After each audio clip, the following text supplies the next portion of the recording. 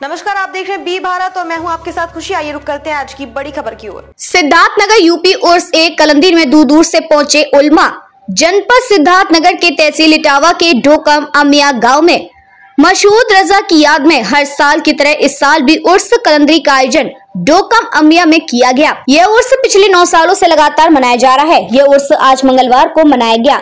हज़रत मौलाना तहारत साहब ने मीडिया को बताया कि यह कार्यक्रम आपसी भाईचारे का पैगाम देता है। वर्षों से यहाँ सूफी संतों ने अमन शांति का पैगाम दिया।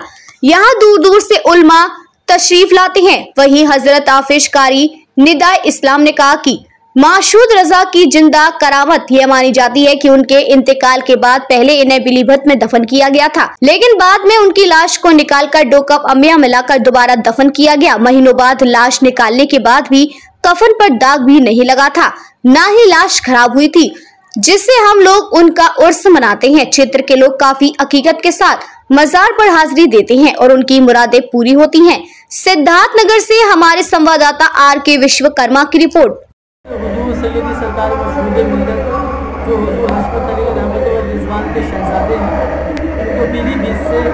ग्यारह महीने चौदह दिन के बाद निकाल कर यहाँ लाया गया था। हज़रत और जब हज़रत को निकाला गया तो माशाल्लाह हज़रत का न कफन मैदा हुआ था।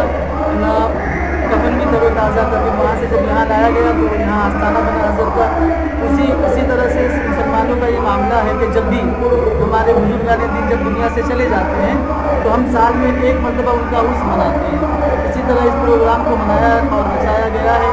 इसमें बहुत दूर दूर से और माए कराम तशरीफ़ है, मुंबई से, गुजरात से, वापी से अशरफ आजमगढ़ से बहुत सारी जगहों से माए कराम तशरीफ़ लाते हैं और वो पैगाम सुन्नियत और भाईचारे जी का पैगाम लेते हैं।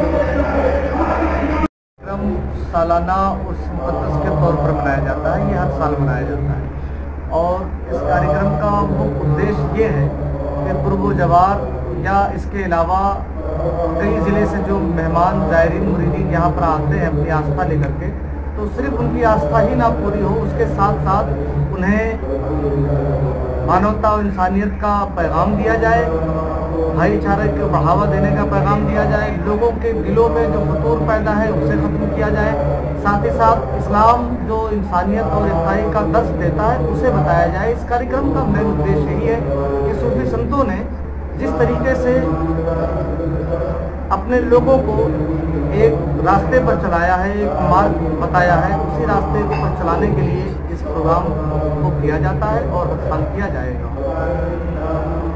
अब तक के लिए बस इतना ही, फिर होगी आपसे मुलाकात। ऐसी एक और बड़ी खबर के साथ, तब तक के लिए नमस्कार और देखते रहिए बी भारत। ऐसे लेटेस्ट अपडेट्स के लिए हमारे चैनल बी भारत को सब्सक्राइब करें और तुरंत नोटिफिकेशन पाने के लिए बेल आइकन प्रेस करना ना भूलें। यदि आप हमें फेसबुक के माध्यम से देख रहे हैं तो हमारे पेज को फॉलो ज़रूर करें। धन्यवाद।